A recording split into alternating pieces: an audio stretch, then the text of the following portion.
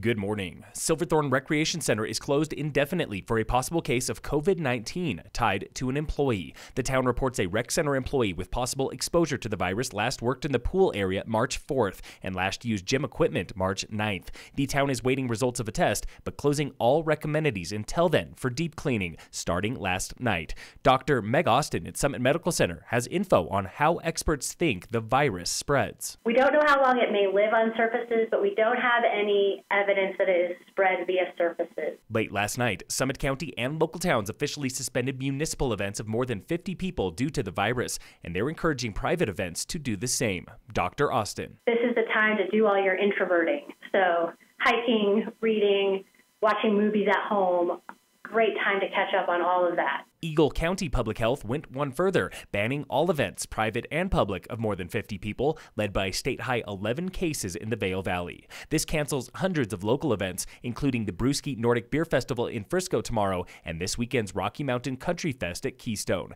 Class is still in session for Summit Public Schools following guidance from the state, closing 72 hours for one positive student or staff case, 14 days for two or more. For now, it is business as usual at all seven ski areas in Summit in Eagle counties, the 50 person ban does not apply to lift lines.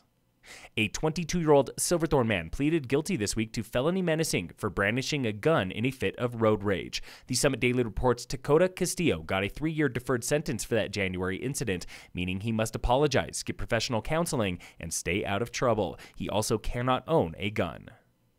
Frisco veterinarian Margot Daly is a canine rehab practitioner, like a physical therapist for dogs. And last week, she was working with the best of the best in Alaska, Iditarod sled dogs. Most of it is lectures and just learning about what to expect and what's different with sled dog and trail medicine. Daly calls teams at the Iditarod canine endurance athletes, combating muscle strains, ligament tears, and even this. They actually have a pretty high rate of stomach ulcers. So what is the treatment? Getting these dogs on basically Pepcid and or Prilosec even before the race starts. Daly says active high country canines can also suffer the same ulcers with symptoms like diarrhea, vomiting, and fatigue.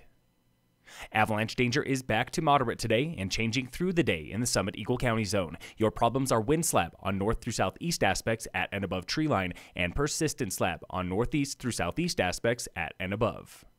In sports, regular season play for the NBA and NHL is on hold as of yesterday due to the coronavirus, and the MLB has suspended spring training. Regular season baseball will most likely also be delayed, and the NCAA has canceled the March Madness tournament. And in local sports, brought to you by Wilderness Sports in Dillon, CHSAA has suspended all high school sports games, meets, and practices until April 6th due to the virus, in effect today, canceling the boys lacrosse game and all season openers this weekend. The Breckenridge Vipers have canceled tonight tonight's home game with Pikes Peak. Coaches hope to be back next weekend for the two game home finale with Denver Leafs.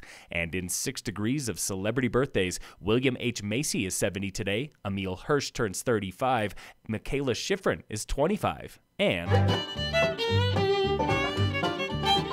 Clayton Campbell, fiddle player for the Gibson Brothers. They're on Long Gone, live from 2015, turns 39 today. Phil Lindeman with your news from Dillon Ridge Family Dental on Krystal 93.